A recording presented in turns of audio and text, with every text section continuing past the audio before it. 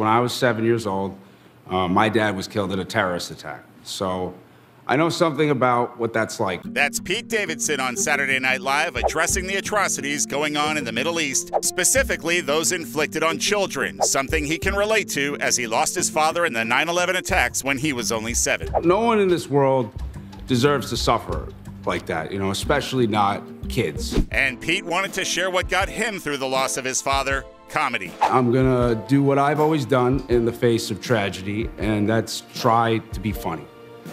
Um, remember, I said try.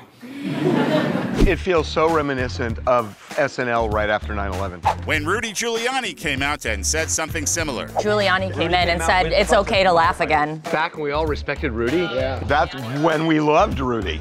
But that all melted away like the hair dye that dripped down his face.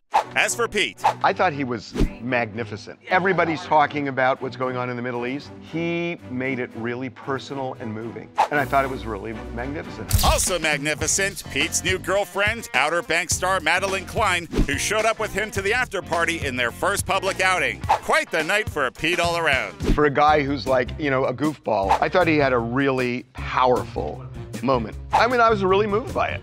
We all were. Well done, Pete. Sometimes comedy is really the only way forward through tragedy.